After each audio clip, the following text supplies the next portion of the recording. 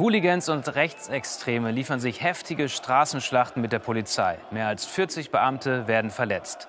Die Polizeigewerkschaft spricht von einer neuen Qualität der Gewalt. Doch was kann man gegen die zunehmende Gewaltbereitschaft tun? Stimmen aus Hamburg. Die Beobachtungen generell sind, dass die Gewaltbereitschaft steigt. Generell sind die Leute aggressiver auf den Straßen und äh, generell die Jugend fängt auch viel früher an mit Aggressionen und Gewalt. Ich kann nur vom Schanzenviertel reden und da nimmt sie eher ab, finde ich. Und die Gewaltbereitschaft verlagert sich vielleicht ein bisschen auf andere Bereiche. Also früher war es so ein bisschen mehr die linke Szene, das ist vielleicht gerade so ein bisschen im Zurückgehen und gerade geht es ein bisschen mehr Richtung Hooligans und islamistische Auseinandersetzungen. Also wenn man sich die früher angeguckt hat, dann waren die auch nicht anders als jetzt. Ist so mein Eindruck. Die Hemmschwelle ist niedriger geworden. Eindeutig. Doch. Ich denke, manche gehen einfach nur mit, um sich, ähm, also äh, ja, um ihre Aggression loszuwerden. Ja, was kann man dagegen tun? Aufklärung, würde ich sagen, dass es um Alternativen geht und nicht äh, Körpereinsatz, sondern vielleicht, dass man mehr mit Gesprächen erreichen kann. Herzlich willkommen zur Drehscheibe. Schön, dass Sie dabei sind. Ja, es waren mehr als 4000 gewaltbereite Hooligans, die sich gestern in Köln zu einer Kundgebung getroffen haben. Fangruppen von teils verfeindeten Fußballclubs haben sich mit Rechtsextremen zusammengetan zu einer Demonstration gegen Salafisten. Es kam zu schweren Ausschreitungen. Über 40 Polizisten wurden verletzt. Bilder, die man in Köln so nie sehen wollte. Wie entfesselt tobt ein Mob aus rund 4000 Hooligans und organisierten Neonazis hinter dem Hauptbahnhof, wirft Autos um und greift immer wieder die Polizei an. Hooligans gegen Salafisten hieß die Demo, stundenlanger Ausnahmezustand in Köln. Die Polizei mit rund 1000 Kräften vor Ort wurde von dem Ansturm der vermeintlichen Fußballfans überrollt. Es ist auch kein Wunschkonzert. Wir hatten zeitgleich äh, noch ein Bundesligaspiel äh, Borussia Dortmund 2 gegen Hansa Rostock, wo es äh, zur Ausschreitung gekommen ist. Da hatten wir zwei Hundertschaften. Wir hatten die Partie München-Gladbach gegen Bayern München, wo eine Hundertschaft. Wir hätten auch gestern gar nicht mehr Bereitschaftspolizei hier in Nordrhein-Westfalen gehabt, die wir einsetzen konnten. So kam es wie befürchtet. Die mindestens 4000 Randalierer gewannen teilweise die Oberhand. Auch unser Kamerateam musste in ein Hotel flüchten und sich im Flur verstecken. Resen Barbaleresen, Deutschland-Korrespondentin des kurdischen Fernsehens, kennt solche Bilder eigentlich nur aus ihrer Heimat. Das stimmt, das ist sehr, sehr gefährlich und das tut mir wirklich sehr, sehr leid, dass wir hier in diesem Tag, hier heutzutage, sowas immer noch gibt.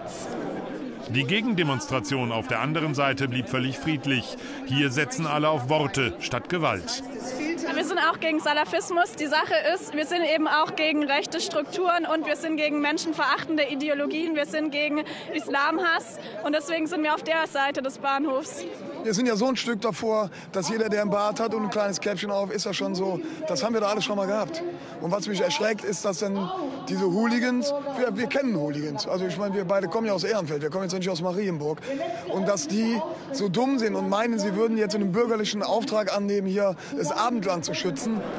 Zum Abend hin verschärfte sich die Situation weiter. Die Polizei versuchte, die Hooligans auf dem Breslauer Platz zu halten. Immer wieder musste der Wasserwerfer eingesetzt werden. Die Randalierer warfen Rauchbomben. Für die Polizei war das trotzdem ein gelungener Einsatz. Wir waren mit starken Kräften in diesem Einsatz. Äh, wir haben hier äh, letzten Endes auch äh, den Schutz des öffentlichen Raumes gewährleistet. Ähm, wir waren hier letztendlich auch konfrontiert mit einer ganz offensichtlich sehr gewaltbereiten äh, Klientel, hatten die aber im Wesentlichen unter Kontrolle. Fanforscher sehen eine gefährliche Strategie hinter den Krawallen. Die Hooligans würden quasi benutzt. Sicherlich versprechen sich da einige Strategen von, wenn wir das jetzt hier für uns proklamieren, dann ist das etwas, mit dem wir dann auch Anschluss finden können. Denn das ist ganz bedeutsam bei dieser Sache. Es geht ja letztlich auch darum, dass rechte Strategen versuchen, in bestimmten Feldern ihre Anhänger zu finden. Und da passt das dann erstmal, wenn das aus der Mitte der Gesellschaft zu kommen scheint. Das Konzept verfängt wohl bei den Huls, deren Wachstum die Polizeigewerkschaft im Moment am meisten erschreckt.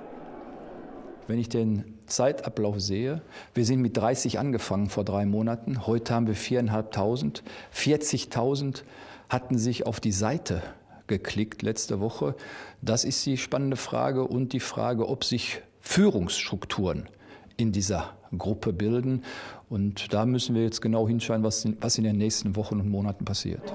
Mindestens 44 Polizisten wurden verletzt, etwa doppelt so viele Demonstranten, ganze sechs Festnahmen, die Bilanz eines schwarzen Sonntags in Köln. Ja, und mehr zu den Krawallen und ihren Hintergründen finden Sie natürlich auch auf unseren Internetseiten unter heute.de. Der tragische Unfall passiert in einer Baustelle. Dort, wo die Fahrspuren enger werden, stoßen heute Morgen auf der A1 bei Bad Oldesloe zwei Autos zusammen. Bei einem Spurwechsel verliert einer der Fahrer die Kontrolle über sein Auto und kracht seitlich in eine Leitplanke. Doch weil diese nur provisorisch in der Baustelle angebracht ist, wird sie dem Fahrer zum Verhängnis. Durch das Fenster auf der Fahrerseite bohrte sich die Leitplanke. Der Autofahrer hatte keine Chance. Der Mann konnte von der Feuerwehr nur noch tot geborgen werden. Heute früh im dichten Berufsverkehr ereignete sich der Unfall auf der A1 bei Bad Oldesloe. In einer Baustelle stießen zwei Autos zusammen. Während der äh, Baustellenphase ist ein Fahrzeug äh, vom linken auf den rechten gewechselt. Dann wollte er einem Auffahrenden Platz machen, hat dann wahrscheinlich den auf dem linken Fahrstreifen fahrenden Pkw übersehen und ist von dem aufgrund der Kollision in diese Leitplanke gedrückt worden. Genau dort im Baustellenbereich, wo der silbergraue Kleinwagen mit einem Kombi zusammenstieß, ist die Leitplanke unterbrochen. Die Enden ragen ungeschützt heraus. Eine Augenzeugin berichtet. Ich habe gesehen, dass der, der graue Wagen eben rübergefahren ist, mit dem anderen leicht zusammengestoßen ist und gegen die Leitplanke gefahren ist. Und dann hat er sich überschlagen. Das herausragende Stück der Leitplanke spießte das Auto regelrecht auf. Die Autobahn Richtung Lübeck war während der Bergungsarbeiten komplett gesperrt. Ein erfahrener Pilot startet am Samstag auf der Ostseeinsel Usedom zu einem kurzen Trainingsflug. Eine halbe Stunde nur will er mit seiner Propellermaschine in der Luft sein. Doch der 58-Jährige kehrt nicht mehr zurück. Das kleine Flugzeug ist wie vom Erdboden verschluckt. Für Vorpommerns Retter ist es ein harter Einsatz am Stettiner Haff. Aus der ganzen Region ziehen sie Kräfte und schwere Technik zusammen, suchen fast 24 Stunden lang nach dem vermissten Piloten und seiner Maschine.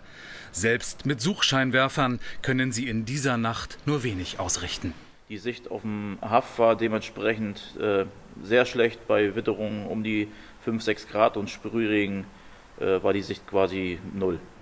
In Heringsdorf war der 58-jährige Pilot am Samstag gegen 19 Uhr gestartet, wollte eine kurze Übungsrunde über Usedom drehen. Der Mann galt als versierter Flieger. Er war allein unterwegs, meldete keine Probleme, so die Polizei.